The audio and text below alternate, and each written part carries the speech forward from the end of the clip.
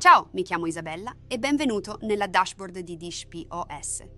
In questa esercitazione ti mostriamo come assegnare allergeni e additivi ai prodotti.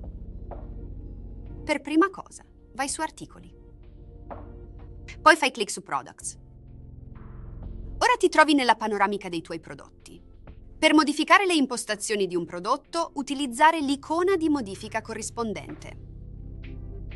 Si aprirà una nuova finestra in cui sarà possibile modificare le informazioni del prodotto, andare su informazioni sul prodotto per assegnare gli allergeni e gli additivi. Quindi selezionare i rispettivi allergeni e additivi impostando il segno di spunta corrispondente. Al termine, fare clic su Salva per applicare le modifiche.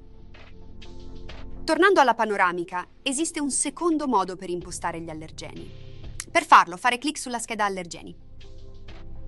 Accanto ai prodotti apparirà una lista di controllo di tutti gli allergeni disponibili. A questo punto è sufficiente impostare i rispettivi segni di spunta per il prodotto corrispondente. Tutto qui! Hai completato l'esercitazione e ora sai come assegnare allergeni e additivi ai prodotti. Nota. Poiché sono state apportate delle modifiche, è necessario inviarle al sistema accedendo alle impostazioni generali.